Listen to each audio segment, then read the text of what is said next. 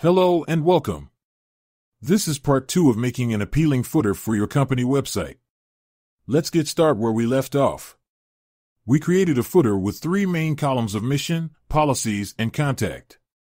Now we would like to add icons and make it more appealing to the eye. To add icons to the footer, let's go to our browser and write font awesome. Then let's click on the icons and search for envelope.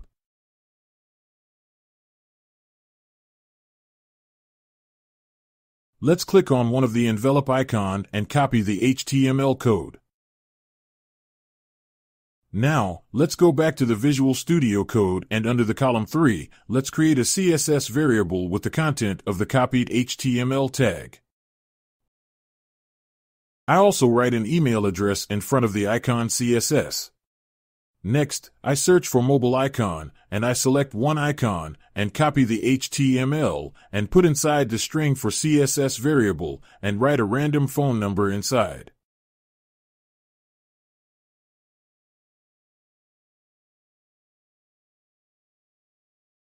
I copy a location icon and write a random address in front of it.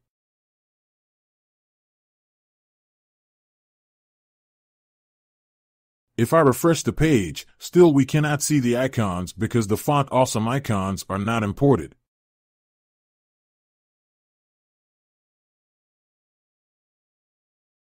Let us hover over to the browser and search for Font Awesome Min CSS download.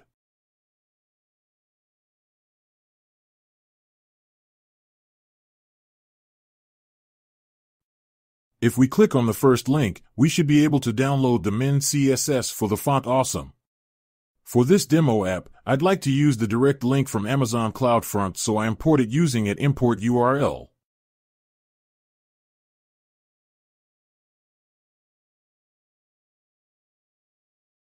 Let's also inject the icons using STWrite.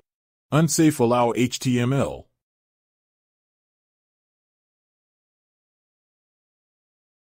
Now if we refresh the page, we should be able to see the icons.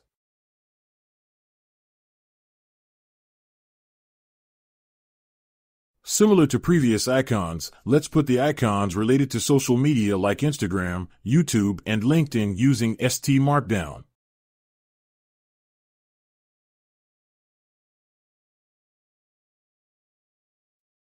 For doing that, let's create a link with the color of your choice and no text decoration.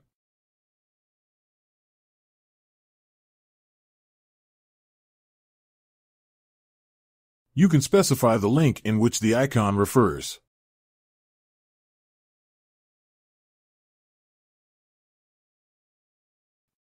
Finally, I paste the icon HTML code inside the string. When I refresh the page, I should be able to see the Instagram icon.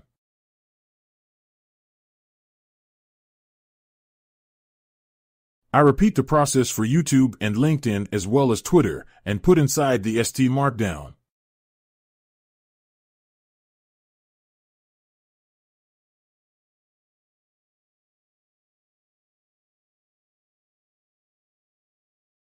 To give a slight spacing between the icons, let me copy the class value of each icon and put it in the styles.css file and define a left margin of 20 pixels for them.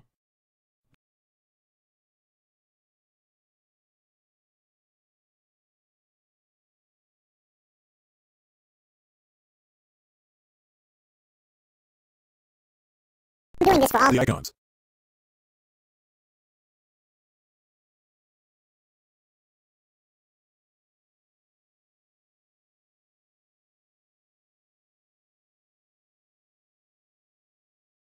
When I refresh the page, I can see the icons to be separated. To make the web application more realistic, let's create a table with random values in Streamlit. I paste a prepared code for random generation of the table in Streamlit. The content of this part of the code is not relevant for this video, so I don't go into its details. Let's import the necessary libraries like pandas and numpy. When refreshing the page, I can see the created table. To adjust better the footer elements, let's make the screen slightly wider through the ST set page config, and I set the layout to wide.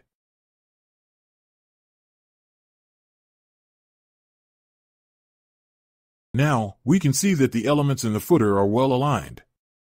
If I slightly make the browser smaller, which is equivalent to the size of smaller screens, the footer elements stay pretty aligned and nice. Hope you have enjoyed this video and it's useful for your application. Thank you very much for your attention. See you next time.